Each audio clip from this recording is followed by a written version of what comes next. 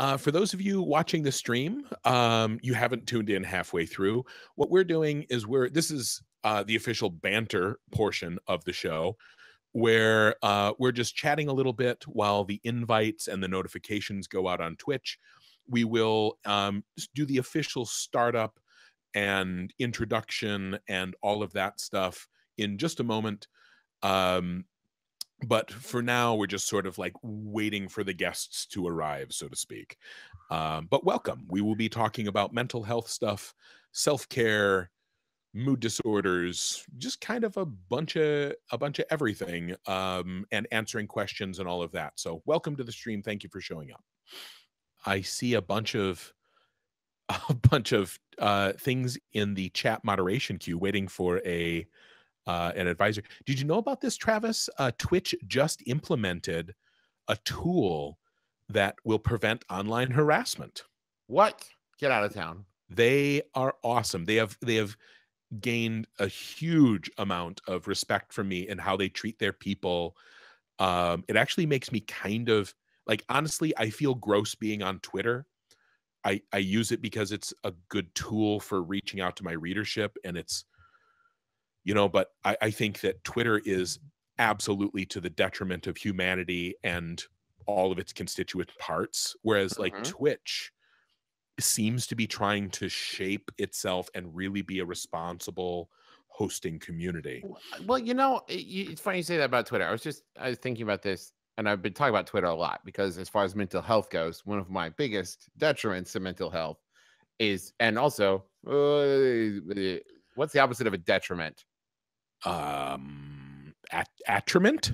Attriment yeah is, is twitter and that is because i think twitter is a tool. It's like a hammer you know what i mean? It works really well for the thing it's designed to do but when you try to use it for things it's not designed to do it like it's great at hammering a nail but it doesn't work so great on screws. And so like twitter is great for like talking about the podcast episode you just put up and like communicating with fans. It's horrible at communicating like complex ideas about philosophy and right and wrong and that kind of thing. So like it's great at communicating with people. It's horrible for talking to people.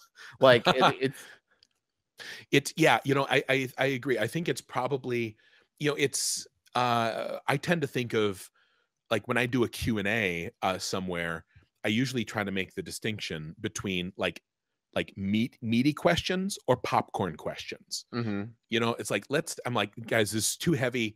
Let's do some fun. So like, give me some popcorn questions. I'm gonna make some funny answers.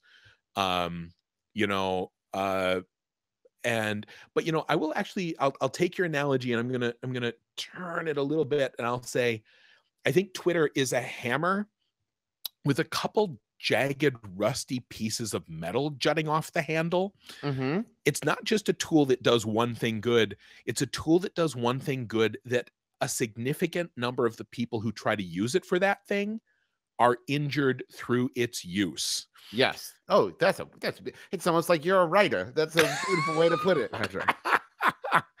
um where they you know they do you know it's and and what what infuriates me about twitter is you know either they either either they don't care or they're blisteringly ignorant mm-hmm. or um they're stupefyingly un- incompetent or any combination of those three. Because if you're aware of the problem you know or they're evil you know and i think i'll, I'll happily i'll actually tick evil off the list. I'll give them the benefit of the, of the doubt but if you're aware that people are being driven to suicide on your platform and you do not implement changes to how people can interact with other people to protect them then like you are a dick. Yeah. I mean I'm, I'm pretty comfortable saying that. I don't think that's a bold statement.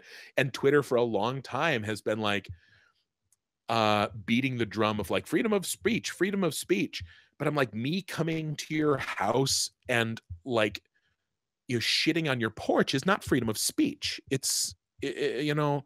Well, and that in and of itself is that's a whole because when people freedom of speech arrow from the quiver and it's like no freedom of speech just means that like you can protest and the government won't arrest you. It doesn't mean that I get to insult you and you don't get to get mad. Like that's not Right. freedom of speech. Like they're like it's okay for Twitter to censor you. That's not a freedom of speech. They're not the government. That's not free- Right. you don't have a right to be a dick on Twitter. Like that's not how freedom of speech works. Like right. And yeah, there's a huge distinction between like freedom of speech and freedom of expression. You know, Mhm. and one is sort of like hopefully a moral right in a good society.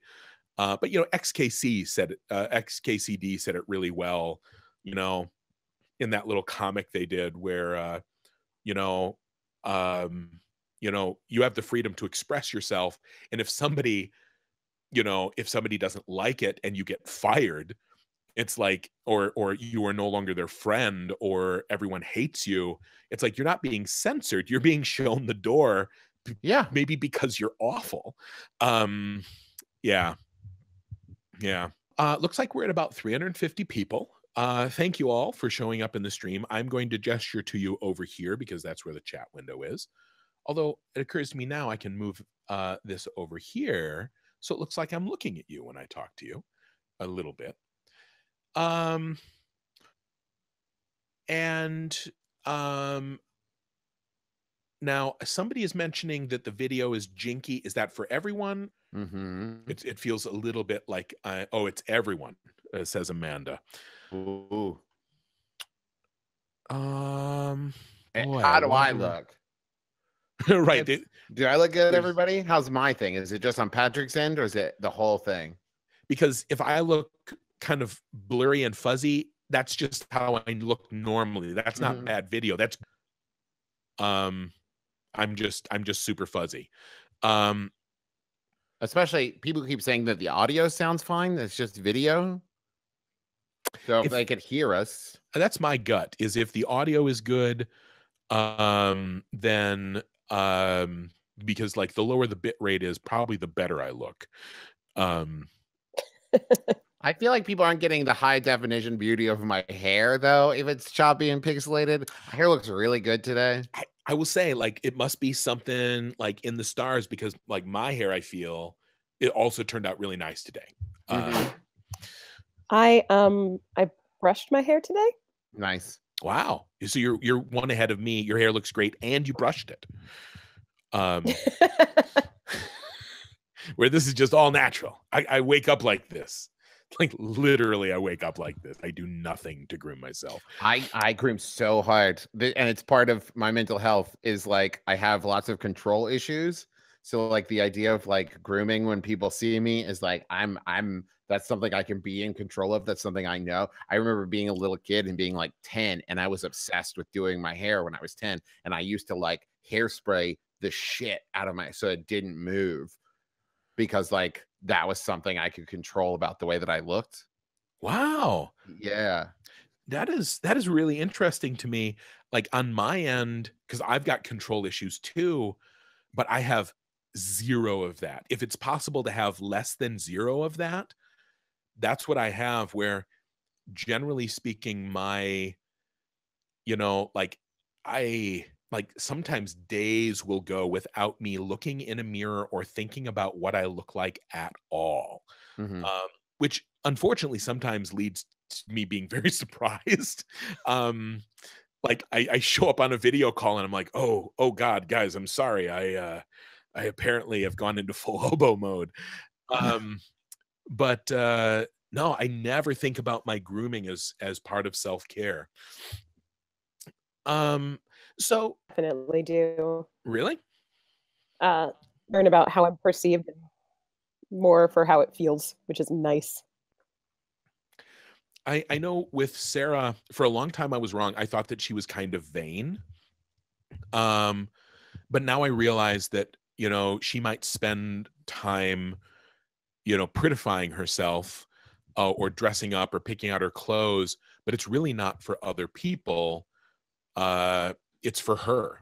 You know, she wants to feel good about how she looks. And uh, and once I realized that, I'm like, oh, of course, like you want to feel good about whatever. I feel that way probably more about my voice than anything. Like if I, Mm. my voice is really scratchy and I'm doing a, a live stream, you know, like I, I probably have done more live streams with my shirt inside out than right side out. but like if my throat is scratchy, I'm like, I'm like, this is gonna be a shit show because I know I know my voice is kind of pretty. Um but uh so anyway, um I'm gonna briefly, I'm, I'm gonna declare this official beginning of the first annual World Builders charity promotional mental health talk chat hangout thinger um, with special guests uh, Travis McElroy and Thera, who might want to remain somewhat anonymous and not give her last name. I'll give her her own choice when she introduces herself as to how uh, she would like to uh, to be that way. Uh, you want to briefly intro yourself, Travis? Uh yes. Uh I uh am Travis McElroy. I host uh six or seven different podcasts. I can't remember because I haven't counted in a while. and um I am a 33 year old man living in the Midwest, recently moved back from Los Angeles. Um, and I am a new dad of like a seven and a half week old baby. And uh, I also uh, have ADD um, and lots of different anxieties and control issues. Thera? Travis really set a bar for that. Hi, I'm I'm Thera. I'm a 39 year old lady who lives in a small town. I have a 16 year old son and a husband and uh, chronic depression and anxiety. Yay! um, my name is Pat Rothfuss, and I am I am the old man of the group. I am 43, and um, I theoretically write books, but more realistically do other things.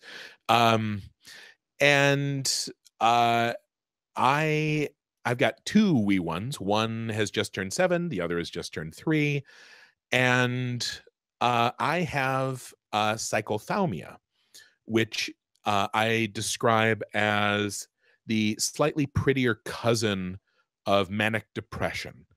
Um, where it's not as extreme. You have you have true bipolar, from what I understand, which is like true mania, which is not a good thing. People are like, oh, it's the opposite of depression, so it's good. No, no, no, no, no. True mania is like the angels talk to you, you know, like for real. Metatron comes down and has some shit to say. And that's not good. That's not a fun time. Um, and then you get genuine depression, it goes way down and then there's sort of manic manic depression which is like up down. And then there's a slightly gentler version of that called cyclothymia um, which if you ever any of you read stephen fry's blog post after he tried to kill himself um, uh, cyclothymia is what stephen fry has. So um, i i love pointing people at that blog post where he just it was beautifully written very articulate discussion of him being very honest about like why the hell somebody as awesome as Stephen Fry would still maybe feel like killing themselves. Um, so I've got that. I'm undiagnosed, but I know that I have a little bit of the ADD or ADHD, depending on how you acronym it. Um, um, and in terms of my ups and downs, I do tend a little bit more towards the downs uh, with my depression. So, uh, so that's my flavor. Oh, uh, I I should also add I I am also what I call a functioning narcissist. Uh, so that is also. Uh, Your hair does look great. Can we all thank just you. Thank, thank you, very today. much. I put a lot of effort into it. Um, I I wore my special pants just for this. Um, I I I use the term functional narcissist because every time I tell anyone that I'm a narcissist, people always want to convince me I'm not because I'm very nice and they assume that if I was a narcissist, I would be a jerk. Um, but like I am, like I fit every single criteria of a narcissist. Um, and including like the delusions of grandeur and the like frustration when people don't appreciate it, like every not just I think I'm great, but like there's a whole other like list of things that I fall into. I'm just not a jerk. Now, out of curiosity, do you have uh because you mentioned delusions of grandeur, do you get grandiosity? I so for me, it man uh, for me, my delusions of grandeur manifest in two ways.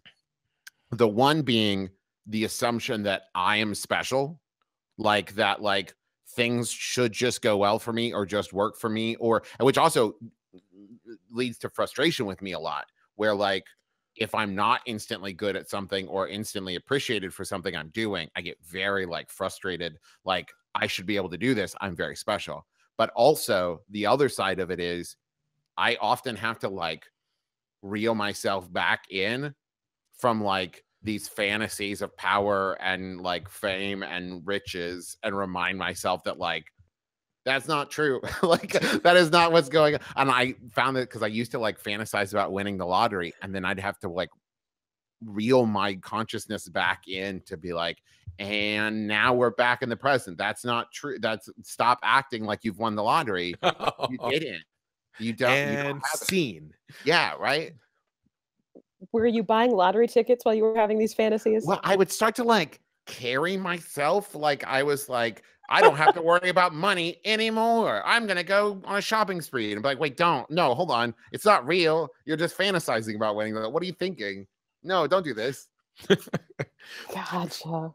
For for me, like I just recently learned the term grandiosity, um, because that's I I I successfully def, you know identified the depressive moments, um, because you feel like 12 kinds of ass um and everything sucks and it's like you're being wrapped in a wet towel and why do anything? And i just want to go to sleep and never wake up again. That's again that's how it feels for me. But then when i was going into therapy which by the way first yay therapy just any everyone in the chat um uh um oh everybody's sharing their own uh their own stuff in the chat. That makes me so happy. Um the uh and so when i went into my therapist he's like you know we've talked about this for a while. I'm going to ask you some real specific questions and see if you may just have some leanings or if you are for real this thing. And one of the things he asked was have you ever experienced grandiosity? And i'm like no idea. What is that?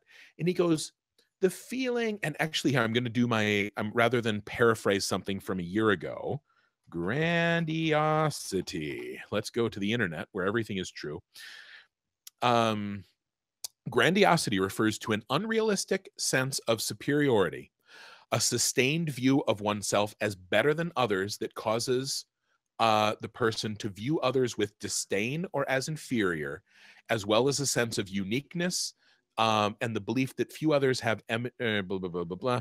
Um, the the big thing is um, that you can only be understood by a few or very special people.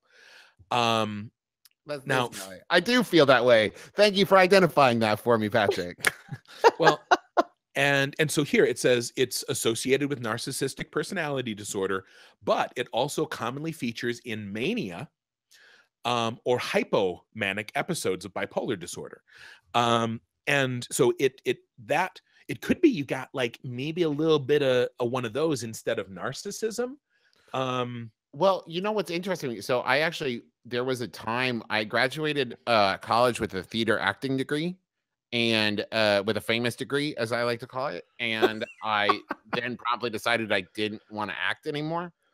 So I was kind of aimless for a little while, but I really loved psychology and I uh kind of like unofficially minored in it in college. And so I went back to school for uh well, I was going to get my master's in psychology, but I needed a year of like undergrad to qualify for everything. So I took a year of it and then remembered that I didn't like being at school. So I didn't do that anymore. Um, but one of the things I came to find out, which I was fascinated at the time, is there's actually another form of narcissism called defensive narcissism.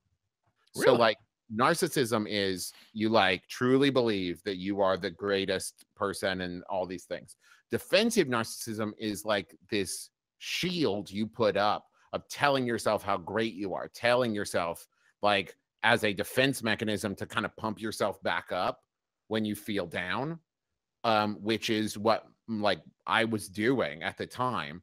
And then like that kind of developed into full blown narcissism for me of like, you know what, I am great. and like that's where it kind of got to eventually for me. But just the idea of like, I also really like it. That's the thing is I don't want to cure my narcissism at all. I I for me it's a, it's a very like driving force for me. That feeling of feeling d- special like lets me do most of the stuff I do. Were you starting to rely on that in college? I'm asking because uh, I went to college and promptly uh, became deeply depressed and suicidal and really like blew my life apart in very serious ways. Like just destroyed all of my relationships, failed out of college twice. Um, but I did manage to do it in a really interesting way where like at one point I was living in the dorms and the college decided I wasn't going to college anymore and sent me a refund check for the amount of money I was supposed to be. Ooh, how nice. Right? Yeah. So I am great. Um, but I'm wondering if maybe like that's it's a huge step into the world when you that time when you like leave your house and you're more uh, on your own and things feel a lot more overwhelming uh if that's maybe when when that became a crutch for you oh, very much I was so. like, That- "God, it no was, i'm great i can do this it was in college that I was suddenly like, it's you and me, buddy. And like, so like me and myself. And it's so and like kid. It, I was my own like one man support team, and I just like I said that. eh, So the other one of the things that my biggest manifestation of ADD is this like uh, one of the interesting things people um often think of ADD as an inability to concentrate, and they kind of boil it down to that. Um, while that can be part of it, there's also a part of it where you like become hyper focused on something where you like one track mind is what my dad calls it. And that idea of like so so for me yes i do often have a hard time like focusing on tasks at hand but then i'll get something in my head and like that's what my day is about. Like i i will uh i also call it being on the case. Like i'll get on the case about something and like that's my day. And so like for me like the the how nice it felt to convince myself that the problem wasn't with me it was with how terrible everybody else was and they just didn't realize how great i was. That became so uh uh, uh self-fulfilling and so wonderful that like it took me a while to then realize like hey that's what you're doing. Dial that part back. It's okay to think you're great. It's okay to have a lot of confidence and like have a lot of like you know self-esteem but not at the cost of like understanding other people. And so like i i have worked very hard over the last decade to develop empathy and think about like the impact i have on other people's emotions. But it's a thing like that i have to like think about sometimes that like it is a i like very present at the forefront of my mind. Like right now i'm thinking about the fact that i have been dominating the conversation in this and i have not allowed the two of you to speak enough and i need to shut up and let you talk more See, uh, I want to thank you for developing that skill set because without it, what you're describing is uh, having generic white man disease. Mhm. white dudism, yeah. Yeah. Um, which I mean, do you think? I mean, as you were, you know, I, I didn't think of it till just now, but I wonder if it's fair to like, and and this is this is just me kind of bullshitting around because genuine narcissism is like a for serious, like for serious, serious dark thing. Um, but you know, it, it also all of the dis- these disorders are kind of a sliding scale Mhm. of very naturally occurring tendencies in all of us but i think it's fair to say that a lot of of my brethren by which i mean white white straight dudes um probably are a little bit on oh, maybe a little bit an extra scoop of that in their personality than Oh, I- definitely think so because I think part of the problem is, and I think one of the reasons that like I have uh, that I call myself functioning is like because if you don't get called on it, I, I so my brother, my brother, me has been wonderfully helpful for this actually. Where like in the very early episodes, it's not like we were like setting out to be offensive, but we'd say something because we're like three straight white dudes raised Southern Baptist from West Virginia. So we'd say something that we didn't know was like not an okay thing to say. And we were very fortunate that our audience chose the tone of, hey, you probably didn't know this. Um, that's not an okay rather than like getting angry and we in turn responded to it by going thank you so much now we won't do that again. And like that kind of like help cycle has really i think built a connection between us and our audience but also helped me go like hey just shut up and listen sometimes because there's a, just a shit ton of stuff you don't know and if you try to act like you know it you're going to stick your foot in your mouth left and right. Um and yet I'm still talking the most out of the three of us. Absolutely, and it's uh, those skills I think are are tough to have and to cultivate. Parent of a teenager, I think about that a lot. Mm-hmm. Well, so for me, like the ADD thing, like one of my favorite things that my mom and dad were just amazing when I was growing up and after i was i was diagnosed with add the same time that i uh like tested into all the like advanced placement smart kid programs. So like i had those like two things going on of like hey you're very smart and also like just a ball of energy and like now but now we know why. Now we know all these things. And my mom and dad both took the opinion of like this is not an excuse. This is not a thing that you get to like fall back on. And also not a thing that we're just going to like throw medication at you and hope that helps. I was medicated. I did uh Ritalin and then Concerta for a while. Um, but also a lot of behavioral therapy, a lot of like, okay, we're going to work on your listening. We're going to work on your ability to like breathe and pay attention to what other people are saying and like learn how you work and how homework works for you and not let this be a thing that completely molds and shapes your being. Um and that that to me was huge. Like i never i never moved beyond the like starter dose of ritalin that they start kids out on. Like i just took the lowest dose and everything else was like behavioral cognitive therapy. Cognitive behavioral therapy. Um so you've described like you're aware that you kind of have a thing and you described like how you actively engage in it and try to to deal with it. How about you, Thera? Like how how would you describe your thing and like what are some of the tricks that you use to either deal with it or get better at it in general?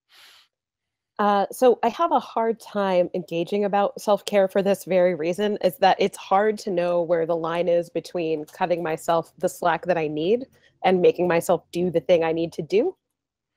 Uh, and there are days that I need for it, it is to my benefit to acknowledge that I am tapping out for the day.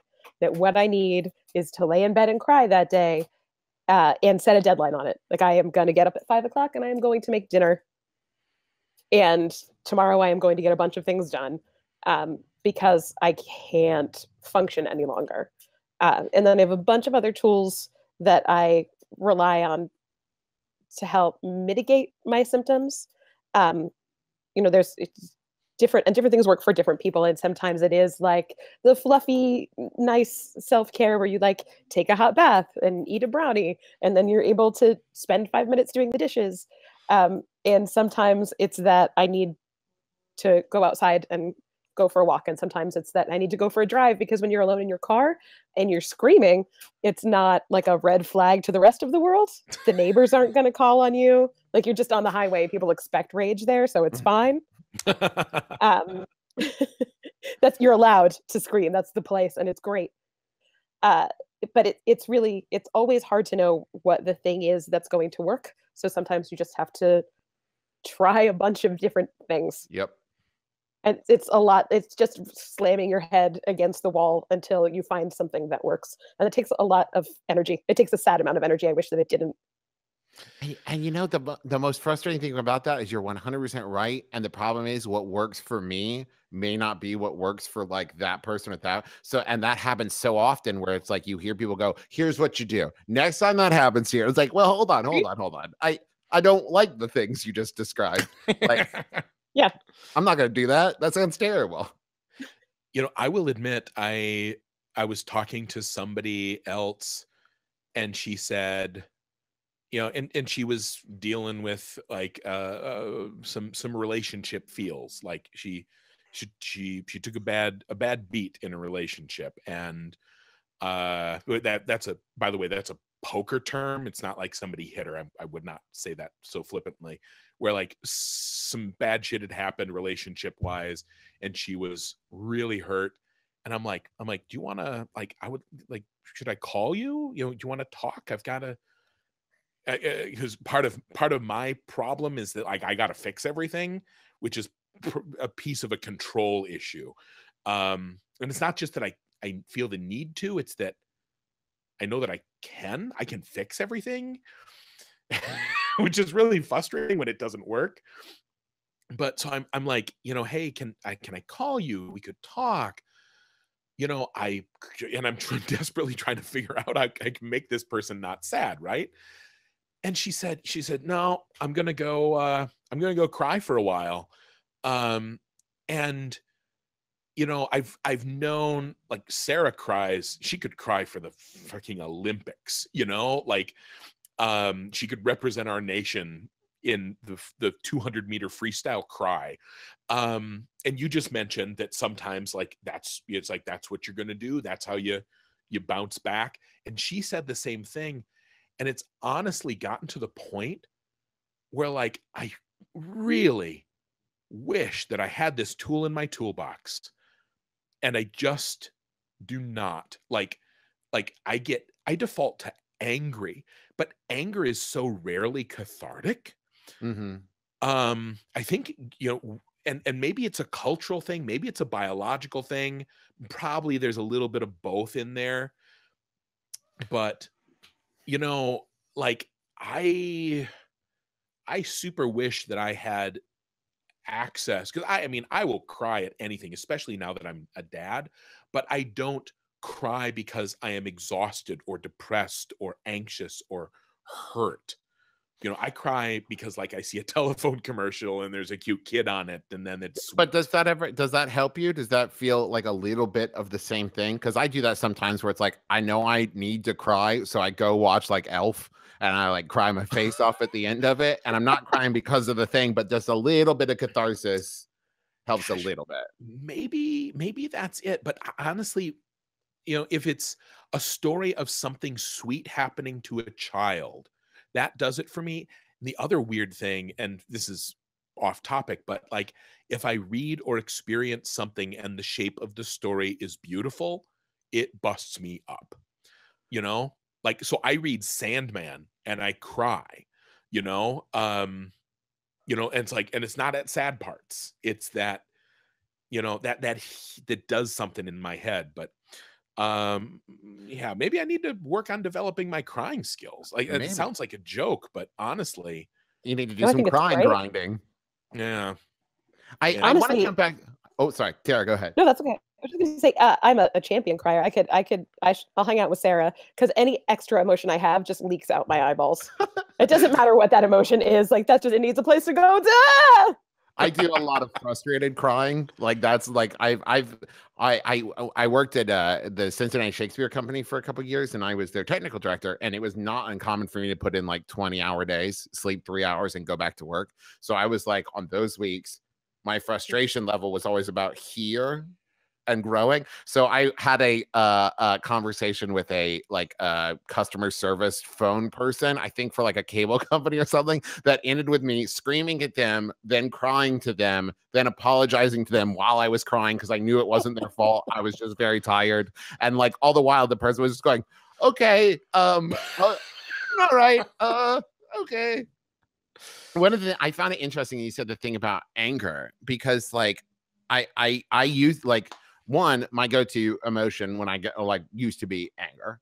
But I also think that I think that it is a cultural thing because I think that used appropriately, anger can be just as cathartic as crying. The, like, but just like there are okay times to cry and there are times and there are ways to do it and everything. Like, if you get angry and your answer is to go like punch everyone you see, that's bad. But like, go chop some wood, you know, go like hammer some nails I don't think, but I think that there is a certain cultural level of like getting angry is somehow giving into this like bad fire kind of thing. But like, I, I, I honestly think like, You know, there were times where I would just walk around and just snap, pick up sticks and snap them in half. And like that was just, I would go on a walk just snapping some sticks. And by the time I was done, I felt better because I was a little destructive mm. and it didn't hurt anybody and it wasn't bad. But like, I got to feel a little destructive for a while. That was like 15 year old Travis's jam, was just like walking around breaking sticks in half. I like to throw rocks at trains. Yeah. it's not going to hurt. Well, unless your aim is so good that you somehow derail the train. But just that's not, not what are the odds? I, Going I could, to the gym is also really good for that. Yeah. I, if you just, like run out of sticks. Oh, sorry, Pat. no, no, no. I was just I had like the scene where it's like later because there is a train yard like like uh, two blocks from here, and I could see you know like I, something happens online, and I'm just like, and then it's like it's like dude, I, I throw rocks at trains. I'm like, maybe I will, you know, maybe I'll find a way. And I like, and I go out and I pick up a rock and I throw it at the train. And it's just like there's like there's an explosion and the train like falls over. And I'm like, oh shit. Like it's way worse than I thought. I one time I was in a stage combat class and we were doing fake punches and the teacher walked by and he grabbed my wrist and he held my fist up and he said, I want everyone to look. He was 100% serious. Want everyone to look. Travis has fists of iron. If he were to ever accidentally punch someone, he would kill them. And then he continued on walking. And I was like, what the fuck? That's not an okay thing. That power you've given me, how do I deal with this? If I ever accidentally punch someone, I would kill them. Oh no, I'm a monster. Um you know on the subject of anger i can i can fess up to uh i confess up to some real bad behavior here uh just because i think it's very it's not uncommon m- dude thought patterns. Um what would happen in uh my relationship with sarah a while back and this boy a while back this is easily 10 years ago, 12 years ago. I remember we would get into fights because um, Sarah and I have had some communication problems for a long time that I only wish that I had started therapy 12 years ago. Things would be so good with Sarah now if I'd gotten a little bit of therapy back then. Now we need a lot of therapy to change these deep ruts, these habits in our relationship. Everyone out there if things are a little rough in your relationship, maybe just get a little tune up therapy, save yourself a ton of fucking misery. Um, back to the story. Um, uh, I, we would get into these fights, uh, arguments. It starts as an argument, right? And then things get emotionally charged. And then she cries because that's her emotional default. And and as soon as that would happen, I'd be like, okay, now I, I've got to pull back. And so, because she, this is too much for her emotionally. And so she's crying. But, and then I, but I resented it. And resentment is a, is a poisonous thing in a relationship, in any sort of interaction. Because what I really felt was happening is she got an emotional trump card in the discussion and I didn't. And and I'm like, and I, I realized, and here, here was my thought process. If she, if her emotional default is sadness, and that leads to crying, and it's okay for her to do that, then if my emotional default is irritation, and if that gets high enough, it leads to anger. And the way I express that is shouting. If it's fair for her to do that, then it should be fair for me to do mine, right? Like equality, right? And it seemed like the math seemed good in my head. You're very bad at math. Exactly. I was super bad at this math because it's not the same. Um, and the reason it's not the same is shouting at somebody or even just shouting around somebody, especially somebody smaller than me and somebody who um I, I've got 50 pounds on, you know, and um it's anger is explosive and tends towards violence. And whereas like if she cries, I might feel empathy towards her or or I might feel bad. I am never scared by her crying. But a violent outburst is frightening, if not honest to God threatening. No, but it took me a long time. Once I kind of worked this out in my head, I'm like, no, fair is fair. Because, but here's the reason it was because ultimately my bad math was founded on this resentment. Like I felt she got to cheat, you know, in these discussions by not, you know, by effectively winning every time she got emotional. And so I engaged in more of more of this like angry behavior um, she, even though she didn't tell me a lot about it, got increasingly scared of me. Um, you know, even though I I wasn't like thumping my chest or pushing her, touching her in any way, it's scary. Like, I mean, you wouldn't like me when I'm angry either. It's like I am a fucking gorilla with a super big voice. And um and so uh, you know, and here's where I started to realize I was wrong. Um, it was when I had a kid, and my little boy. Uh, it, it came in two stages. One, um, he was no more than six months, and he reached out and and he and he tugged my beard really hard, but he did it deliberately. He, he reached out, and I go, no. And then he looked at me and he goes, and it hurt. I mean, those of you without face hair, your face is super sensitive and it's like, it hurts. And I didn't like scream at him, but I, it hurt. And I said, I said, ow, no. And he stopped. And said a little more. It was more like, ow, no. And he stopped. And then we did some other things. And then I put my hand on his back and he was wet. He had a fear sweat because of the fierceness of my voice. And and I went, oh, this shit is in no way acceptable. Like my I just scared my child where he had an animal fear response to me. And I never want him to experience that again. Um, the next one happened maybe eight months later. He was downstairs in his safe little gated off part of the living room. I came down the stairs and I saw him, and he was doing something that he knew he shouldn't. I came down the stairs and I shouted his name, not as loud as I could, but loud, you know. And he heard my voice and he, he was running away. I think he was jumping on the couch and so he was running because he heard me coming down the stairs. I saw him and I barked his name. And he crouched down um, and put his hands by his head and just shook. Now, to be fair, my first boy is a very sensitive boy. Um, you know, again, I'm not, I wasn't screaming bloody murder. I wasn't coming at him with a belt, none of that. But I saw that and I'm like, I need to be able to modulate my voice perfectly because anything else is unacceptable. And that also opened up the window in my head to be like, this is also unacceptable to do around Sarah because we'd also been talking about it and I was getting therapy at that point. And so now I do not. I feel angry all the time, all the time. And I do not shout.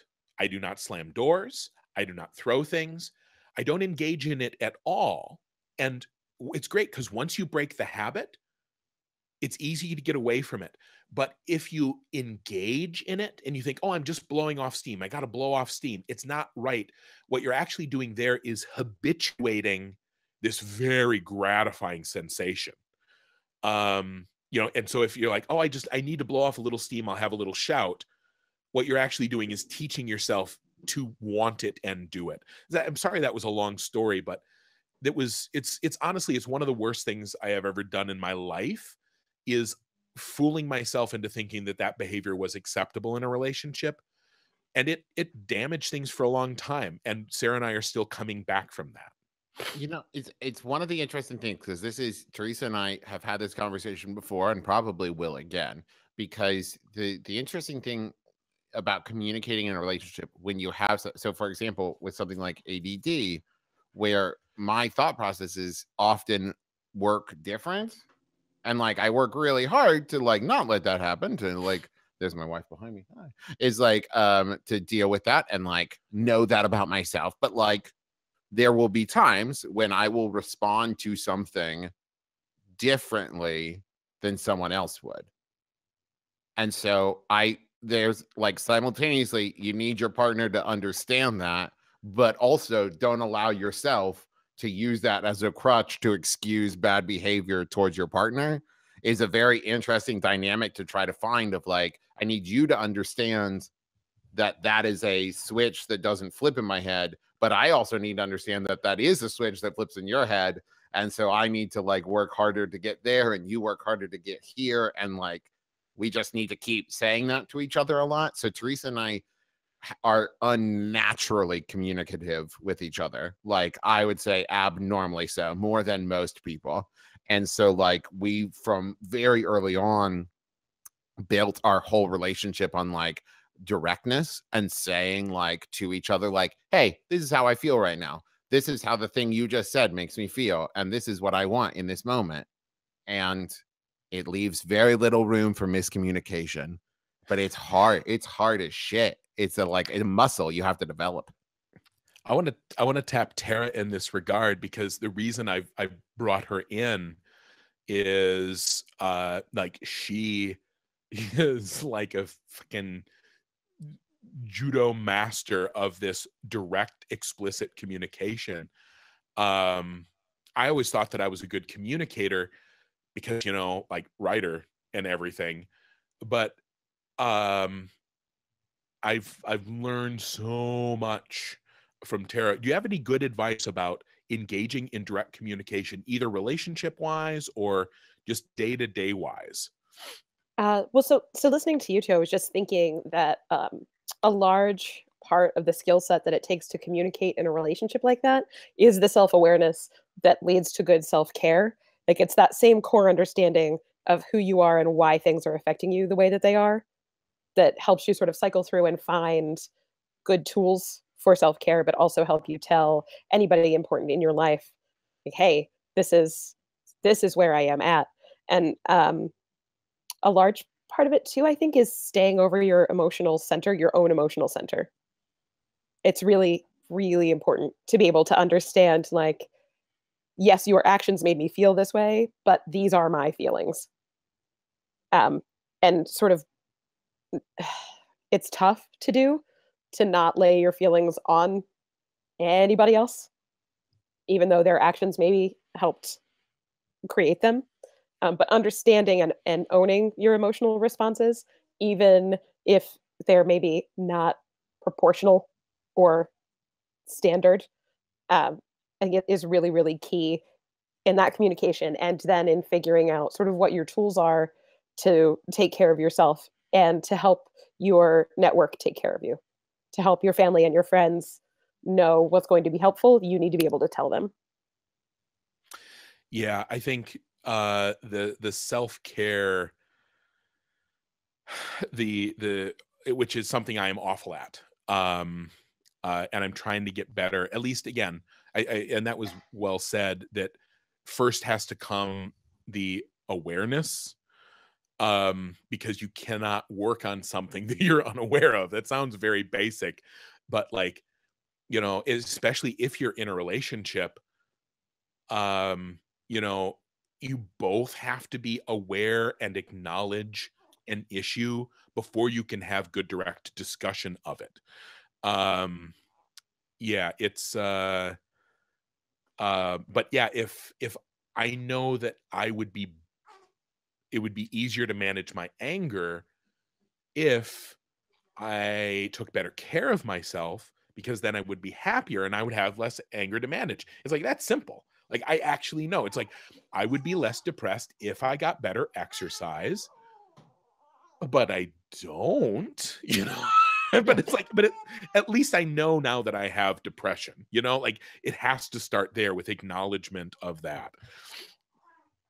Acknowledgement and being comfortable with it too and it, that's very very hard. It's like being able to just say like hey uh, i have depression and so i'm going to be sad for no reason. Uh, Yeah. okay. Like i you know with not that it's not that it's okay to feel that way but that like the, i'm not broken. This is the way that i am wired. This is the way my brain chemicals go. That's and so That's There it is. my favorite thing about therapy is like when I was getting therapy for ADD and now like because I am just frustrated all the time and tired all the time. Um but like for ADD was running through like I would talk to the therapist and say like, you know, I've, I've just been dealing with this and he would go, "Yeah, you have ADD." like that, that's why like everything you have just said are are symptoms of that thing. Like of course you're dealing with it. You have it. I was like, oh yeah, okay. And like I was just I was just talking with my therapist yesterday and I was talking about like I had a night with Bebe where like she my my seven week old baby was just screaming at me and nothing I did. This was uh Monday night. Nothing I did. Like and this The was till like three o'clock in the morning and I had to go wake my wife up and be like, I, I, I need you to take over. I I can't anymore. And I was just so frustrated. And I was telling my therapist about this, and she was like, "Of course you were frustrated. That's frustrating. Like, that's a frustrating." And I was like, "Oh yeah, yeah, yeah, yeah. That's mhm, yeah, yeah, yeah." It's an excellent point. right when you put it that way it makes Yeah, perfect cool, sense cool. And the problem was is that I was frustrated at myself for getting frustrated. So I was just like making myself more and more frustrated because I was trying to just stop being frustrated like I could just do that. And she was like, next time, just acknowledge, like, yep, this is frustrating. Like, this is a frustrating thing to happen. And it's completely understandable that I am frustrated. And then, like, move on past it instead of like trying to get in this cycle of fixing it for yourself and just like, I, I it's like one of the things I always catch myself doing and get fr- like that cycle of frustration is thinking that if I just like could find the right muscle to flex, I would just turn it off. You know, that idea of like, oh, I'll just stop doing this. I'll just stop being mad. I'll just stop being frustrated. I'll stop being tired. I'll stop being sad. I'll stop being whatever. I'll just by like, "Ugh." and like that's just not how it works. That's not how that thing works. wait nobody told me i could just stop Yeah. Oh, I'll just stop feeling sad. Cool. Awesome. I did it. I feel great. Which is which is why, in case anyone uh, watching this is wondering, don't ever tell someone who is sad or uh, especially if they're depressed, like, well, just look on the bright side. Just well, how about how about you just turn that smile upside down and stop being sad? You take your Oh, vitamins great. That's exactly what I needed to hear. Thank you very much. I will say um, one of the best depictions of of that I've ever seen is Allie Brosh's uh, hyperbole and a half book. I've bought so many copies of that to give away. Um, uh, where you know where she uses the comparison. Um, you know, it, she's like she's like my fish is dead, and they're like, well, have you tried having it be alive again? you know, and she's like, no, uh, because you know it's it's a it's a nonsensical question. Yeah. Um, I love everybody that, over on the uh, side. Everybody over on the side is talking about like mindfulness. Yes, I was quoting that idea. That was something that was taught to me by uh, my my Zen meditation person, where they said like the you know your heart beats, your lungs breathe, your brain thinks. Like that's what your brain does. Why would you expect it to stop doing that? So like if you try to tell your brain to stop thinking, you're you're not you can't your brain can't stop thinking. If your heart stop beating you die. If your lungs stop breathing you die. If your brain stop thinking you die. That's just what happens. So just like let your brain think acknowledge it and move on rather than trying to dwell on it and make it stop doing that thing. That's just not how that works. The uh the, the one of the ones that i had recently when i was was in with my therapist um where we talked about um you know and and let me try to sum up because there are a lot of people that are like yay cognitive behavioral therapy but i'm guessing a lot of people have not done it or don't know what it is the the concept behind cognitive behavioral therapy and the reason that I I love it now that I know what it is and how it works. Um, and honestly, I think in some ways it is the geeks therapy, you know, because like it's foundational and it's not just it doesn't treat symptoms. It fixes things underneath and then things get better from the bottom up. So let me let me take a stab at it. I actually um i'll try to replicate what i said on a panel. There was a therapist there and then I, every time i said something i looked at her and she's like yes. You know, because i could get confirmation that i wasn't fucking it up in a paraphrase.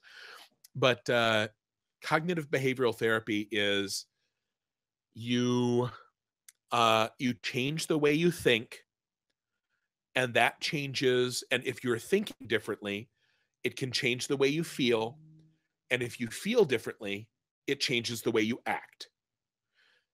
And so that's the root of it. So it's yeah being aware of how you think and being uh, mindful of how you think and being in better control of how you think about things has huge like repercussions throughout your whole psyche and all of how you behave about a lot of things.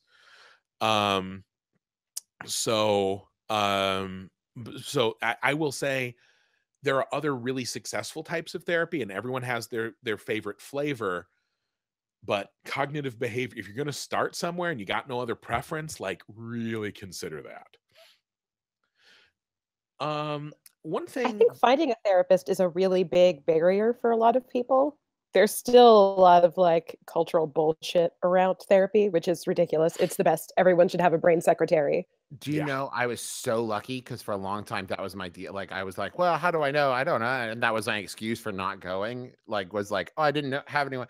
I accidentally fell backwards into my current therapist because I was at like my just like you know family. doc. I was at my doctor, and I was like, we just had a baby, and I was like, I just am so frustrated and tired and stressed, and I don't want to be, and I'm worried about being this frustrated because I have a baby, and I don't want to be frustrated, and lots of bad stuff can happen if you're frustrated at a baby. And he was like, we actually just brought in somebody to the practice. Would you like to meet her? And I was like, sure. And like he walked me over to her office and she was like, Yeah, do you want to set up an appointment? I was like, Yeah, what's the soonest appointment you have? And she was like, Actually, right now, somebody just canceled. I was like, Perfect, done. And I sat down in her office and like now she's my therapist without like I didn't do any shopping around. I sat down, I talked with her, and I was like, Oh yeah, you're great. We're doing this now. This is this is happening now. This is great. Um, I, I want to touch on a few things that just came up in the chat here. Uh, one person said um, uh, that they're actually scared of cognitive behavioral therapy because the way, and, and I'm quoting here, the way I think is fucked up, but part of me wants to hold on to the person that I am. So let me address this briefly. I mean, that's that's a totally fair way to think. I totally, it's reasonable, it's understandable, and a lot of us have thought that. Um, so I can see Thera doing a big nod there too. So I'll say my piece, and then Thera can jump in. Um, um, I would say this that, um, well, how about this? Like, if I if I went and drank a bunch of Malibu, and it, you know, and then I behaved a certain way. This is a shitty metaphor. Um, That's terrible. Can I Dude, my, I know. I, I acknowledge that it was awful, but um, I okay. No, wait. Okay, everyone's dogs. uh-huh. Um, Okay. You have they- me so far. Go on. and they and they all want to drink Malibu. Thera, I Uh-huh. need you to take this one. You? Everyone's Okay, dogs are- is are I'm going to start right every now? party from now on. um. Okay, let me try it again. So anyway, we're all dogs playing poker. Uh huh. Uh huh. Okay, uh, let me let me try Uh-huh. again. Um, the thing is, you are who you are, but if a piece, oh, here, here, here's here it is, right? If you had cancer, you wouldn't think, oh, but the cancer is part of who I am. You know, if you have a cold, you don't think, oh, but the cold is who I am. These are things that happen to us and they are natural and they are part of of our existence. But to cling to them as if they're part because like if I have a cold, it actually it doesn't inform who I am. You know? Um if I have, you know, if I have if I'm have a stomach bug and I'm constantly puking, I mean, like, oh boy, I wish I could get rid of this stomach bug. Except then, would I still be able to write the same? You know, it's like there, there are different things. There are some things that interfere with who I am. They're not part of who I am. I don't know. That's closer to what I want to say, but it's not really pounding the nail. I, I, will say the way I look at it is the beautiful thing is you are a complex uh, wonderful machine you are both the machine and the programmer of the machine and if there's something about you that you like you can keep doing it and you you only have to stop doing stuff you don't like. Like it it's not it's not like a computer where you erase a program and it's not like everything goes away. This is the thing is like I've I've never once had a therapist tell me, "Hey, that thing you like about yourself that's not a problem, you also have to stop doing that." Like that's not I I like that's the thing is you can keep the aspects of your personality like. And you know what? Even if it is influenced by the other thing you then at least have the ability to go and I know why it's happening which can be huge. Just knowing why even if it, even if the bad thing keeps happening like mm. i'm not going to stop being frustrated in my life. That's not like i'm not magically going to wake up tomorrow and not be frustrated anymore just because my therapist told me like hey you're frustrated because of this but like now i at least know why. And that for me is huge. Yeah i went through um sort of that same struggle with myself when I started taking medication for my depression, which I've now been on for longer in my life than I was without it. And it was very hard for me to acknowledge, like, well, you know, this is who I am, and now I'm going to take this pill, and then who will I be? And is that normal? Uh, but you're exactly right. It didn't take away. It is one of the tools that I use. Therapy can be another tool. Everybody's doing it along. And we all sort of get comfortable with the way that we limp or hunch or the bruises we have or where we're tender or scarred you know like the way that we're twitchy and you get used to it um, and the thing is what you cannot see until you find a good therapist or a good pill or a great combination of those things are the ways in which you are limiting yourself all of the good things about you are still there when some of those barriers are gone they get to be bigger so that's what a therapist does, and that's what medication does. It helps you be more you. It doesn't take away what you are, it removes the shitty barriers that life piles on you. Yeah. That's super well said. That's way better than okay. way better than also, my dog. And yeah. Also, we're all dogs, but uh, that is good. I mean, it's it's why I was excited about doing this this panel and talking about this because I think that there is a really bad, unhealthy um old, old, old myth that still perseveres to this day of this idea of like creative people leaning on that idea of like well yes the, the their alcoholism is what fueled their creativity they'd be up all night drinking absinthe and it's just like okay cool but like i also would like it if all of those artists who died from drug overdoses were still around making art like that would be better that would be a better thing and the thing is, is I, and you know what? This is my opinion. This is not based on any research or anything I've done. But the fact of the matter is, is I think that if you need to poison yourself to be creative, you should not be creative. You should you should let that go because hurting yourself is not worth it.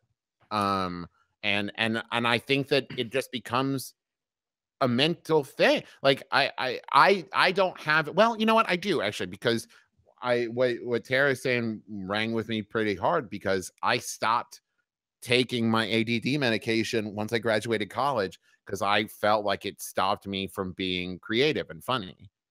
And I had this fear of like, oh, well, when I, when I take it, it takes that spontaneous edge off, and I'm not, I'm not as funny. But the fact of the matter is, it, that just wasn't true. That was in my head, like because I was still like I still had the jokes in my head and I had better control of when to deliver them. What I really got rid of was the lack of filter that made me say bad jokes that hurt people's feelings. Like that was the spontaneity I got rid of. yeah. You know, That's like a pretty good thing to get rid of. yeah, right. Like that's what I Yeah. had a little bit more control over what I said. Now I'm gonna jump in here in in response to something in the in the in the chat where somebody said very plainly and directly, stop taking the medicines. They don't really work. It is just uh, a sticking plaster, which is actually I love that phrase. That's not used here in the U.S. very much. Uh, it means band aid. Um, but I will Oh, I say, Strongly it- disagree with that. yeah. How about you guys that are on the meds? Like, yeah, I'll let you feel that one. Uh, yeah. There, uh, depression does very real things to your body chemistry. It actively changes it, and medication corrects that. It is not, for a lot of people, it is not the only tool that you should use. Um, but I, I cannot stress enough that medication saved my life on more than one occasion. I- Uh, and I, I don't i would like to not see it stigmatized at all anything that's going to help even if you think that it is a placebo if it is helping let it help That yeah, ding ding ding ding ding. If it helps, if it helps, is good. Yeah. Um, Yeah. and I will also say ADD is a uh a source of uh frustration socially for me because it is way overdiagnosed and way over medicated. Um, and the problem with both of those things is if you try to give medicine to someone who doesn't need it, it then makes it seem like the medicine serves no purpose and no one should do it except that someone who doesn't need it is taking it and that's bad. Like that's the thing is the medicine that i would take to calm this not my hair but my brain like someone who doesn't who doesn't need it it hypes them the f up kids Mhm. take adderall to stay awake to study. If i take adderall i calm down. There's a difference. Like i don't take ritalin for uh, uh recreation. That does nothing for me. It like takes me down. And so like the idea of like yes so if you gave ritalin or adderall to someone who doesn't need it you're going to look at them and go, wow, they're still acting like a spaz. Let's give them more medicine. And then they are still because they don't need it. So the problem is you got to couple it with something and make it a word and a blow. Is oh, like the thing is, is like medicine and behavioral and education and understand like i i do not advocate for just like giving somebody medicine and send them on their way but like i don't know very many mental health professionals that would advocate for that because like very rarely does just one thing do it Yeah. yeah And I- I do want to say the person in the chat you know, apologized, said, "Oh, I'm sorry. It's it's just my just my personal experience, and that's fine. I I Yeah. value everyone sharing their personal experience, and believe me, we are not offended. And honestly, I'm glad you said it because it's given us the chance to to address this. Um, you Can know, I, uh, I, I yeah. would also like to say that finding the right medication can be uh, a very frustrating and long process, uh, which is hard to live through. Like in a, in a, and it makes your existence like more difficult at a time when you are looking for help. yeah, So it's helpful to have a, a good doctor who's going to explain, like, hey, these here's how this will work. If it doesn't, or these things happen, we need to try something else. Yeah. Um, I, I think it's it's worth mentioning also that sometimes uh, therapy might lead to a similar thing, a, a similar effect, because you go in and you kind of gotta maybe dig down a little bit, and you might be forced to make some realizations about yourself that like you know maybe you've been fucking some stuff up. Like you know i i kind of got there on my own where i'm like i'm like wow i'm angry all the time um and i knew i didn't want to be but what i did not realize enough uh, uh, you know was that being angry around these people it was genuinely bad behavior now luckily I got there most of the way on my own before therapy. So it didn't sandbag me. Like I didn't have this huge revelation. It's like, oh shit, I'm a monster to my girlfriend and my kids. But some of those revelations might come up. And when you're forced to confront things like that about yourself, that like maybe you have actually been making mistakes, um, that's hard. That's hard. And it might make you more depressed. It might make you more angry. And that's natural. But it's sort of like I view it as the fever that your body uses to kind of like burn out the cold. You know, a fever is a good sign that your body is trying to heal. And similarly, sometimes I think you can go into therapy and those first couple of weeks, they can be uncomfortable and you're trying to get used to it. And maybe they call you on your bullshit. And maybe some of it is bullshit that you, you really don't want to be called on. Or maybe even it's bullshit that you weren't even aware was bullshit, you know, let alone being called on it that you know so maybe that first month you don't make forward progress and it's nothing but hard. Um you know but that was not my experience though. I will actually say i went in and he said a few things and i was like fuck me for not doing this 10 years ago. That was my experience. Yeah. Agreed. The same Um, I will also somebody chimed in here. They said I would go to therapy, but I worry about wasting the person's time. oh um no, no, no. But, but listen, I get that because for a long it. time that was my. I would also sit there and say like, I don't need to talk to someone. I, I, I I'll just, I'll be fine. Like I just, I, mm, I'm worried. I'm this thing. Like, and this was, I remember this summer when um my wife was pregnant and I have always had a lot of existential dread. But like during my wife's pregnancy, it was like crushing. I was at a comedy show and the comedian made a joke about dying and I had a panic attack and I had to like ex- I had to leave the theater and like go like curl up on a bench outside because like I couldn't breathe just because he had said the word death. And like I then justified to myself, like, but this is just a thing. All people are afraid of death. I don't need to go talk to anybody. And I didn't. And like, then I went and yesterday I was talking with my therapist and I was talking about my existential dread. And she was like, Well, yeah, you have control issues. And I was like, Huh? Go on. And she was like, You want to control and you can't control death. And I was like, And like, it was this like wonderful moment. And I was like, oh yeah, you're like trained to do this. You're like super good at this.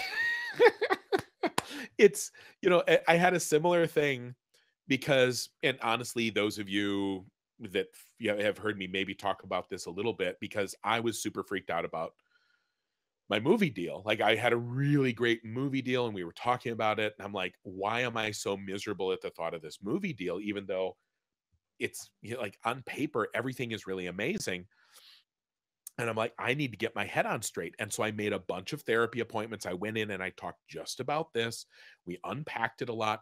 And my therapist is, he's been doing this for like 40 years. He's like a, a you know, a, a, a Buddhist master. He's just, he's so gentle and, and he has such a, a deft, light touch in the conversation and you know we talked about it and things kind of arose through the conversation and he he did say it's like you have some it sounds like you have some control things i'm like yeah we talk about it and uh and uh, and then i ended up on a on a call with you thera and uh and i said yeah i think a lot of the reason i'm so i'm so tied up about this movie deal is because it means I'm going to have to give up control of some stuff. And I'm having a real problem with that. And you just laughed, you know, you just like burst out laughing. And then I laughed so hard that I couldn't breathe. Uh, and I was like, "Oh, what is that? Like you you could have saved me a month in therapy, except here's the secret. She couldn't have, right? Like the the important thing like if it's the same way that when I was 14 and my dad said, you know, if you like a girl, you got to tell her And then sometimes you get to have that girl as a girlfriend, and sometimes not. But if you don't tell her, then never. and I and I listen, I go, you know, Dad, that sounds like good advice. I, I I didn't even say sound. I go, you know, you're right. I go, but it's not that simple. Um, and and I was also right. It was not that simple in that torrent of hormones and awkwardness and fear that is being a teenager. but he was super right. The difference is he could not make me understand it in this deep way. That's what a therapist does. Where my therapist, I could have walked in, I go, God, I'm really miserable. He's like, okay, here's the deal. You have control issues. You have a savior complex. You you you're depressed all the time. He goes you're a freak. You are have like some ocd things. It's like whoa whoa whoa. That's not helpful.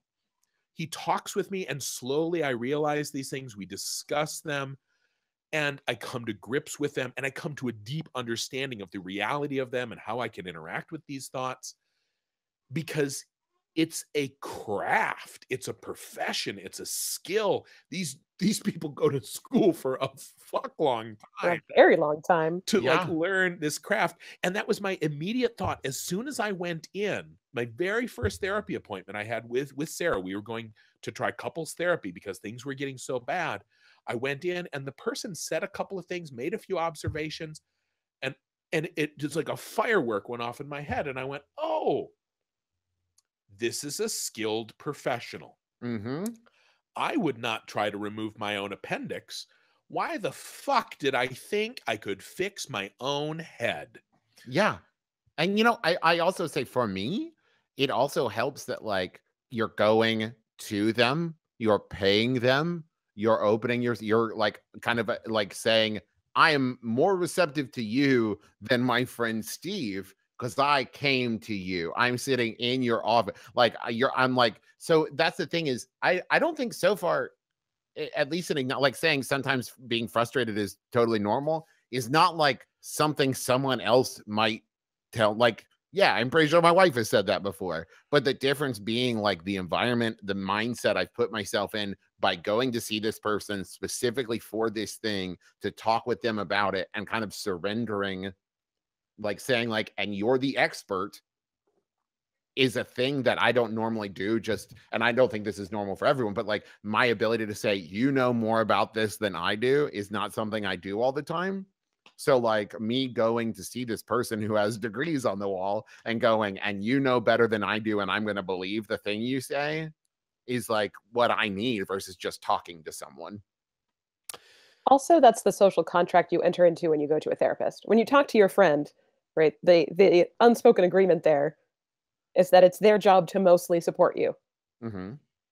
And occasionally tell you when you're wrong, but mostly support you. So if you're just talking to your friends and they say things that are true, like, well, you have control issues, then it's then it's a joke because your friend is telling you that. Mm-hmm.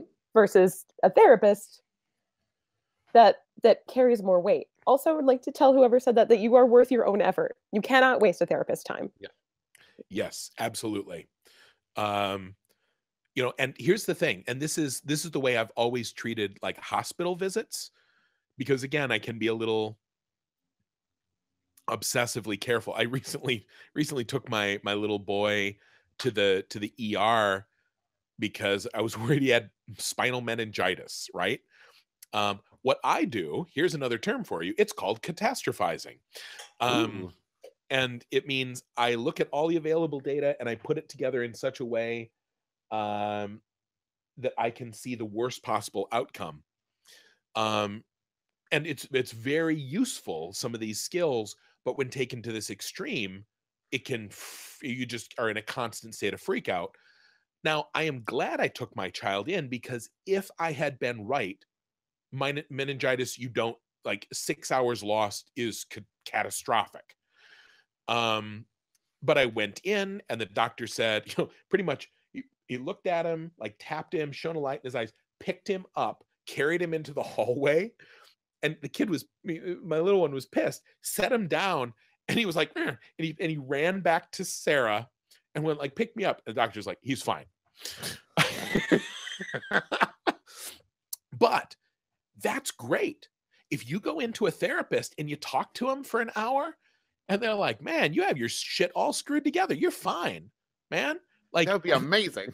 yeah. Like, and then it's like, oh, great. No meningitis. I'm going to go home and eat a cake, you know? Super It's like, cool. super cool. Um, you know, and similarly, um, a good, but now sometimes you'll go in and you won't get a good fit with the therapist. In that case, I, you know, when um I had a friend who was going to go in for therapy, and I'm like, you know what? Try like book appointments with two and like try a little bit. Well, You know, like you don't always go to the same mechanic. I mean, some mechanics are good mechanics and some are not as good um, and the relationship you'll form with this person is super important. Um, how did you how did you find yours, Thera? Did did I did you hear me? Thera. Oh no. Oh, okay. Hi. Sorry. she it was watching YouTube real- It videos. got real choppy. Yeah. When I when I uh, it's a lot of my self care because I just knit and zone out. Oh, I do ASMR like it's my job. I watch ASMR videos like so much. It's it, it, it helps calm calm down this. No, no joke. I had a lot of meetings today uh, for my my day job, and I showed up early to one of them. And the one my one coworker was like, "So you're gonna get a lot of knitting done today?" Like, yes, I am. yes, I am.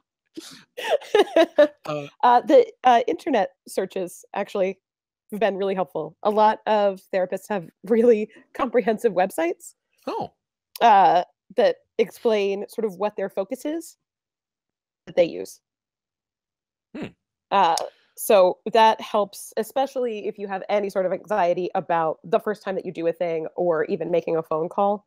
Uh, you can find a lot of therapists that will work with you via email for to see if you're going to be a good fit and to make that first appointment, which can take a lot of of stress. I'm all about like removing the dumb barriers we put up. Not they're not they're not dumb they're valid barriers, but they're just little things that seem huge that, that get in our way. Yeah. Um, getting a recommendation from a friend is sometimes great. Uh, but odds are, if you have a lot of friends that are in therapy, it's going to be easier for you to make that leap yourself. Um, but you know, even though I have a lot of friends in therapy, and I will, I will actually cop to this, um, because I'm not on medication, and the thought freaks me out. I am so like, you know, I have friends on medication, and I am delighted that they are on medication. Um, I have relatives who are on medication, and sometimes I call them and I talk, and I'm like, so, and I'm like, and then there's a lull in the conversation. I'm like, so you still on your meds? And they're like, yeah. I'm like, yay. And I'm like so happy because I've known them both ways and their life is so much better on the meds. And I will admit too, like the thought of me doing meds, it freaks me out. Um, now that said, I have gone to my therapist, and when things have been bad, I I, I went and I go, I go, should I just be on meds? Should I just should I just do this? Should I just uh, just can you give me a pill so that I won't be like this anymore? And he said, we could start down that road if you want. He said, however, I've been doing this for a while. And he goes, he goes, first off, you know that it doesn't happen right away. He goes, it takes a while for a lot of these meds to kick in. Sometimes you have to look for a couple of different types. He says, if you do really feel that way and you and you feel that way for uh, you know, maybe next week too, rather than just like when you're fucking rock bottoming out. He's like, we will, we will look into that. He goes, but in my experience, what you are going through is manageable through this sort of therapy. He goes, What I know about you and how your brain works and how you interact with these things, he says, I'm fully confident that you can get on top of this without medication. He goes, And if I'm wrong, I'll admit I'm wrong. And if you want to make a different decision, I will support you in that. But like, this is also their job, you know, to like give you good advice in terms of your care of all sorts. Can, I, Um, can I go on a quick rant? Because I've just been reading the comments down the side. It's gonna be, I think, hopefully end in a positive rant. Okay. Um, so I a quick story, and uh, we were talking about you're talking about medication, and then I was actually thinking during that about like high strength like painkillers. And so uh, my sister-in-law, Sydney, she is a doctor and uh, is probably the best doctor in the world. Um, and but like you know, the thing I know about doctors and know about that is that especially in places like uh, West Virginia, where there is a, a very high uh, drug dependency issue and people get addicted to painkillers, they're very, very like controlled about like who gets the medicine and who gets like, you know, a high dosage of ibuprofen, that kind of thing. And I think it should be considered the same way for uh, all medications. The idea of there are people who need it and there are people who don't. And there are also doctors who are not careful about what they prescribe, but that doesn't mean all doctors are just like throwing out scripts left and right. And it reminds me of it's an old, old joke, but do you know what they call a med student who gets all C's? A doctor. And like that idea of like, there are shitty doctors, there are shitty therapists, there are shitty mechanics. And if you go to a mechanic and the mechanic's bad, to keep up with the mechanic metaphor, you go to a different mechanic. I went to a doctor once and I was like, because I was, uh, you know, wanted to talk to a doctor about ADD because I was, uh, had moved back home from college and I needed a new, you know, prescription. I needed a doctor. And when I told him I had ADD and I had all my like diagnosis paperwork, and he said, "Oh, I don't, I don't believe in ADD." And I was like, oh, okay, cool. Well, I'm not going to you anymore. and I went to a different doctor. Like, there are shitty doctors. And so that idea of like, if you go to if I would say if you go to a doctor and they just want to throw medicine at you without talking to you about it or offering you any other help, that's a shitty doctor. And you should not go to that doctor. You should go, you should find a different, you should say, okay, thank you very much, and leave. Because like, yes, there are probably, but I don't I don't like to paint with a broad brush in anything. So the idea of like people like all doctors care more about medicine than like I I think that if that has been your experience, you've been going to bad doctors. You've been going to bad therapists. Yeah. Yeah. Um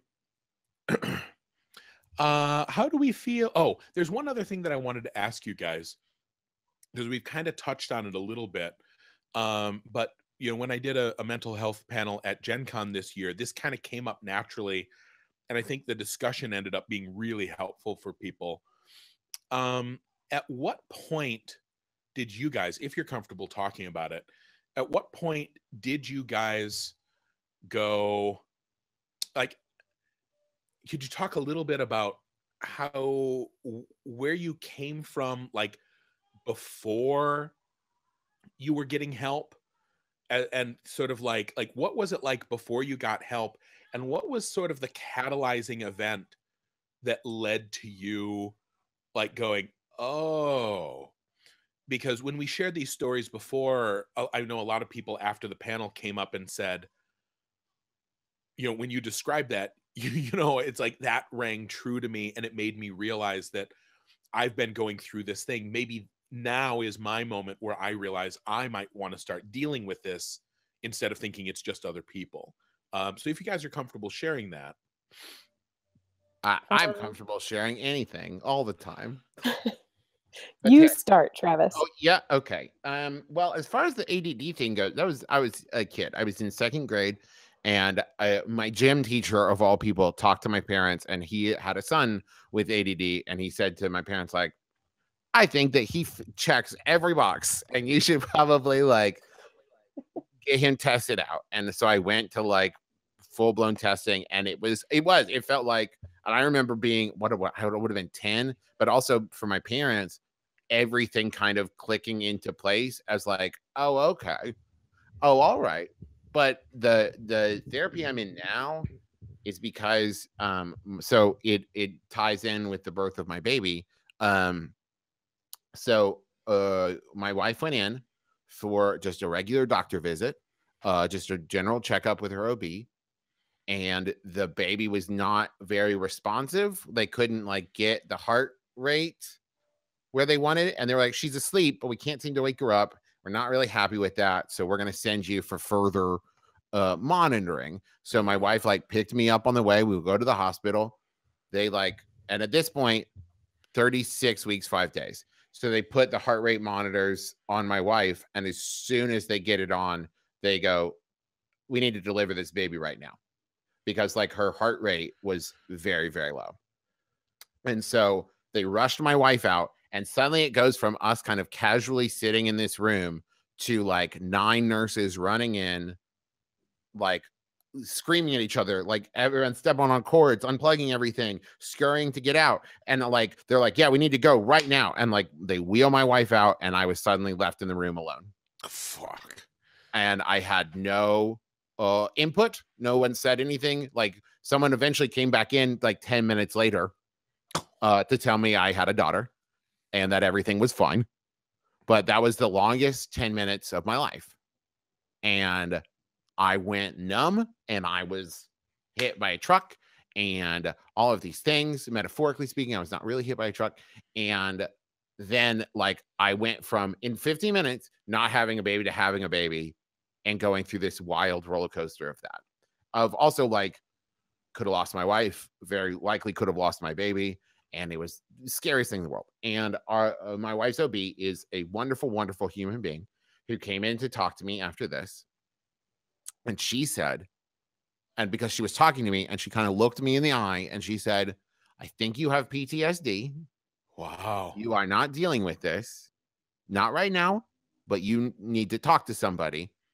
Um, and because I was just like in, I was not reacting. I was calling like my family, being like, "Yeah, this just so uh, this is happening right now," um, and describing it in the flattest tone, and they're freaking out. And I was like, "Uh huh, and that's mm-hmm, this is the and I was it was nothing. And then um a couple days later and everything had settled out. I went home to like collect some things and I was taking a shower and I was just standing there and I was suddenly weeping. Like no, there was no thought, nothing caused it. I wasn't like I was just standing there washing my hair and suddenly I was bawling like sitting on the floor of the the shower. And then that happened like three more times and like i was just like you know like feeding the dog and boom i'm just like full blown like collapsed on the ground. So i went uh, to like and and so that coupled with the fact that like i was clenched my whole body my whole my whole spirit my whole being was clenched from the day my baby was born to uh uh uh like to talking to a therapist because my history. So ADD, one of the things that for me, big manifestation is like physical frustration. Is like this, like I can't communicate. This isn't working, and I get this. I get this. I, get, I get clenched, whole body clenched, and I was terrified that I was going to hurt my baby. That I was going to get so frustrated because I knew I felt clenched, and I was like, I'm this close to frustrated all the time like much like always angry i'm usually consternated i'm frustrated in some way and i was so and i convinced myself that i was going to hurt my baby um and so like i'm about to cry right now thinking about it because i was so scared of myself um because impulse control is a huge issue in add and i was like i'm going to have a moment where i get very frustrated and do something i'm going to regret for the rest of my life. Um and so I went and talked to the therapist because like I was talking to the doctor, doctor passed me off to her and like it I cried for about 45 minutes, just like beginning to end as I told her the whole story, told her about how scary it was, told her about how guilty I felt that my wife had to go through this while I like just stood in a room, talked about my fear of hurting my baby and like frustration issues and all this and all this and I finished and she went, "You know, I don't think you're going to hurt your baby." And I just like it was exactly what I needed to hear in that moment. Hi, there's my baby. At just this moment of having someone tell me, like, I understand why you're worried about that. You seem uh, you see you don't seem like the kind of guy who's gonna hurt your baby.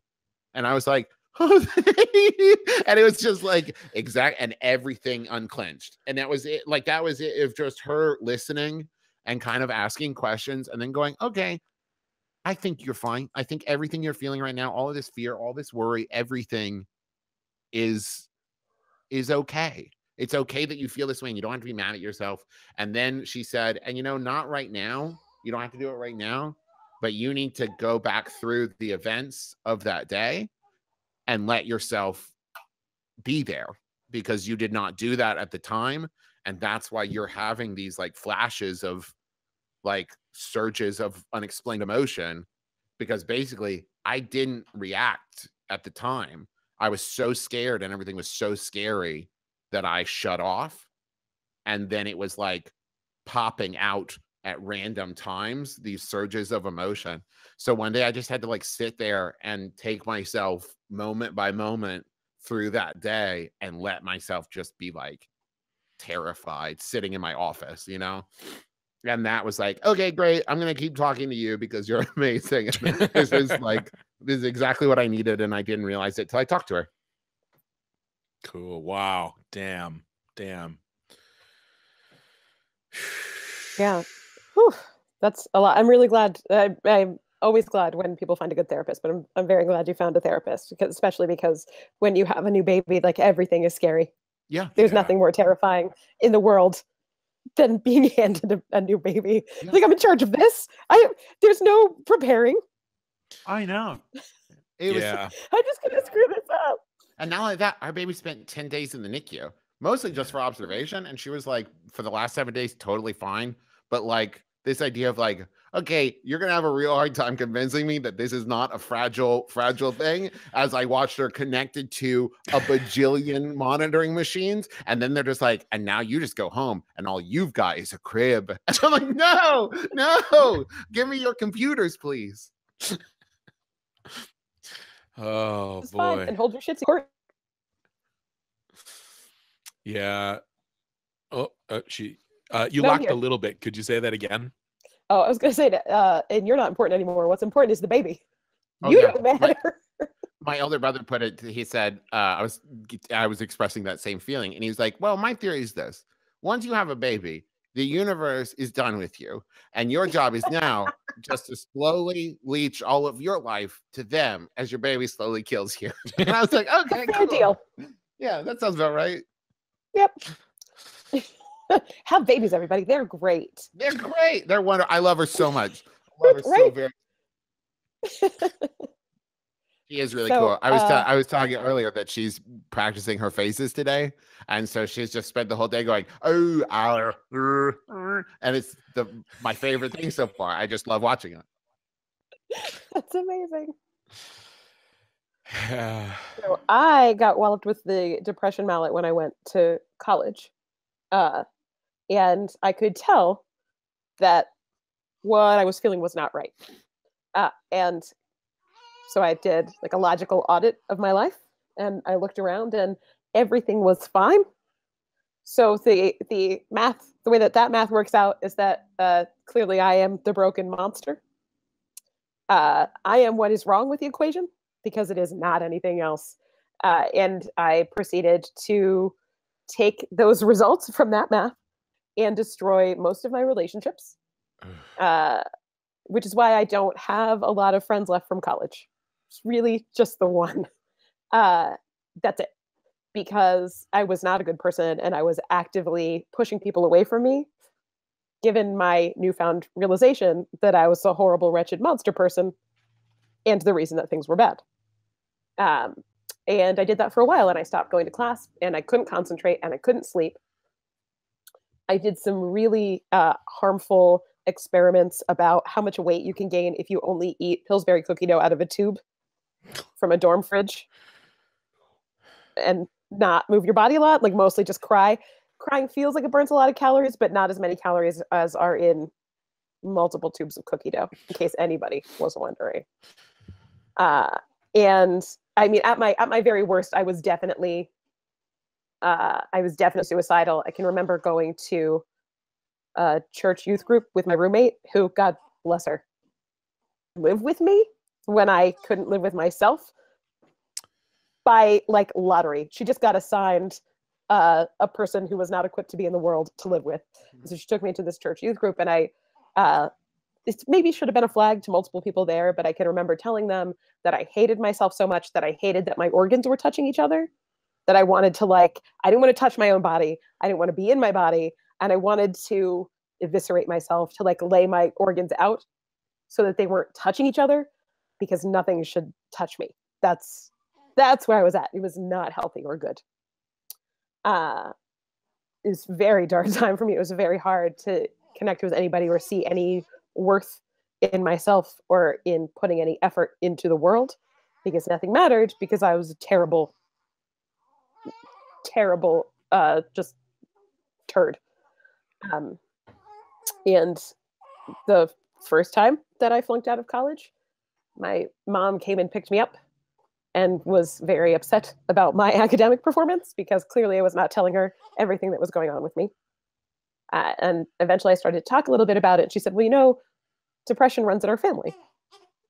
And the well, you know part was incredibly disingenuous of her because I did not know. Oh. And I could not have known because she did not tell me. that might have been key information. Um, so I went to the doctor. I made myself an appointment. Uh, and I lied about the reason for that appointment because this was in the mid 90s. Uh, and this was not a thing that I had any idea how to talk about. So I think I told him I had tennis elbow. I don't play tennis, something. I made up a reason when I called to make the appointment. And the doctor was like, Well, your elbow seems fine. Anything else? And I just lost my shit. I started bawling, like sobbing hysterically, and eventually managed to say the sentence, How do you diagnose depression? And my doctor, I grew up in, on a farm, he's a small town doctor, just sort of looked at me and went, Well, about like this. Um, God, I love those. All right. That's, that's so that's so good. You couldn't script that better. right? That's that's fair. You got me there, doc. Um, and that was the start of it. And it was tough. I didn't know anybody else that had depression, and my family um, also didn't really know how to cope with it. You know, I heard from like people that very much went to Levin to support me, like, well, maybe you shouldn't be a vegetarian. You would probably feel better if you ate more protein. And they were Oh. trying, it came from a place it, like they wanted me to be healthy and did not understand why I was not healthy. And were not equipped to support me in ways that we understand now.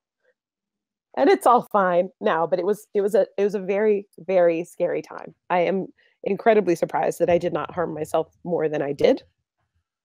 Um, and nobody nobody deserves to feel like that. And that's a realization that I did a lot of work to come to because, uh, like I was saying earlier, the medication does not change who I am. Um, it just removes some of the junk. It gets it out of your way. Uh, but a lot of the baggage that we all carry is, I think, super ingrained. You, we don't just carry our baggage; we really bear hug it. Just like try to become one with it. Um, like somehow the pain makes us worthwhile, uh, and that makes it really hard to get rid of. So please, please hug yourselves. Be nice to yourselves. It's, it's so worth it. It's so hard, and it's so worth it.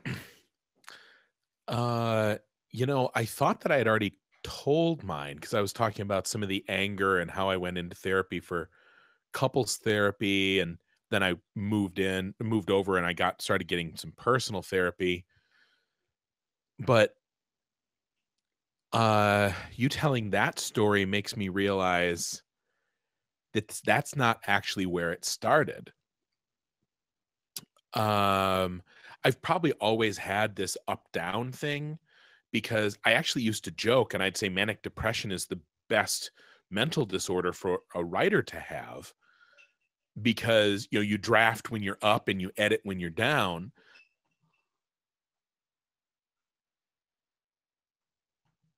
But bunch it was like kind of one of my go-to like pieces of, of writing talk. And this is way back like prior to the year 2000 when i was still going to college and uh and working on those those early drafts of name of the wind. And then you know i i eventually what i was saying kind of echoed in my head in the right way and i went to my friends or one of my friends i said you know i think maybe i do kind of have like kind of a kind of an up down thing you know and she just laughed at me she's like uh, yeah everyone knows i'm like what I'm like, what do you mean everyone knows? And she's like, well, sometimes we come over to your house and you don't come out of your room. and, you know, like we're all hanging out at your house and you don't come out of your room to hang out with us. And I'm like, oh, but I'm not in the mood to hang out with you guys then, you know? And it's like, well, why would I? It's like, you guys know you're welcome in my house. You can watch movies, eat out of the fridge, but like, I'm not going to come out if I don't feel like hanging out with you guys. And so that was like probably the first glimmer that I had this bit of an up down, although I can look farther back into high school. And that's when I, I occasionally would have what I considered my Hamlet moods, um, where it's just like, man, the light's not me nor woman neither just fucking nothing. Like where it's like uh, it's like i don't want to read a book. Oh, hold on. Uh oh, looks like uh amanda is gonna probably restart the stream. Looks like it crashed.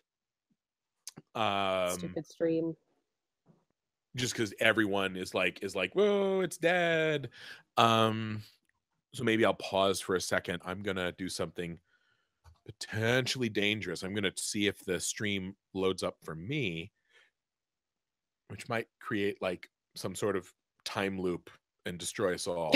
That's how. um, how are you looking for time? Uh, I do have to go pretty soon, just because it's uh, seven o'clock here. Gotta make dinner. I don't really know why that needed to be a song, but um, it clearly did. I, it's a pretty good song. I, I regret that not being archived. Hopefully, that will be archived in one stream, if not the other. I really hope that it is not. I, now that'll be my ringtone. I'll have to I'll make up yet another another song apologizing. Uh, thank you so much. I, I cannot uh, tell you how much I appreciate this, and everyone in the chat. I don't know if how much of it you've been seeing but people oh i'm a narcissist i read everything everyone said about me i have the chat open i have not looked at the chat time. at all yeah i was reading everything everybody said because i love when people tell me how great i am um so uh but no every everyone has has really gotten a lot out of this and people will watch it um after the fact and when it's no longer on twitch we'll put it on youtube uh this has been lovely for so many people thank you so much great i i gotta go but it's been wonderful chatting with you as well thera Pleasure. Pleasure awesome. meeting you. Um, you. I will talk to y'all later. Everyone in, in uh, the chat and watching this, take care of yourselves. Talk to someone if you want to. Uh, there are lots of crisis helplines you can call. If uh, you can't afford therapy, find an opportunity to talk to somebody about it. Uh, you don't have to be alone, and it's okay that you feel the way that you do, and it's okay to talk to someone about it. Okay, bye. Thera, thank you so much. Um, uh, we were I was kind of like brainstorming like who else we would get on the stream today. Um, I was going to invite Mary Robinette because she's kind of outspoken about this stuff, and um, yeah, and I was gonna, you know, there were a couple people I was thinking about inviting, um, and we were kind of throwing around names. I was scrolling through my phone, and I think it was Amanda that said, "What about Thera?" And I'm like, "Oh shit! Of course I want Thera." like you know um it, it was a little silly that it took me that long to think of it um but no this is such a treat and um uh I, I really appreciate i'm so sorry for the short notice um but uh no I, I i'm so glad that you were able to be here Oh gosh, thank you so much for having me. This was I hope that it was helpful for people. I wasn't reading the whole chat, so I don't know what what people said, but I hope that it was helpful. I, this, I mean, this say... is sort of stuff like I super am I am very passionate about helping people to find ways to be better. What I will say is in the chat when you were sharing your experience, somebody specifically said I can't believe this. This is exactly how I feel right now. Oh gosh, I hope they get help. That's the it's the worst. It's the yeah. worst feeling. And so like that is you know, I like if you just get one of those, right? That's you you know, but on top of it like a bunch of people all the way through this. Everyone was was very excited to see it. Uh so I'll just say uh, that I, I just want to remind people that you are worth your own effort. Please take care of yourself and goodbye. Bye, Thera. Thank you so much. Bye.